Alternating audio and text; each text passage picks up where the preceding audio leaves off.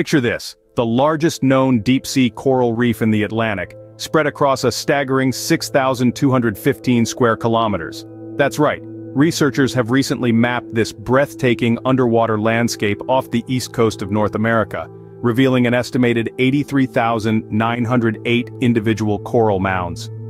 Unlike their tropical cousins, these cold-water corals don't rely on algae for color, but feed on organic matter. Bathed in the warm currents of the Florida Current and the Gulf Stream, they thrive on the nutrients these waters deliver. Despite their vastness, deep-sea reefs are under threat from climate change, trawling and mining. This discovery underscores the urgent need to explore and protect these vital ecosystems. Until next time, keep exploring.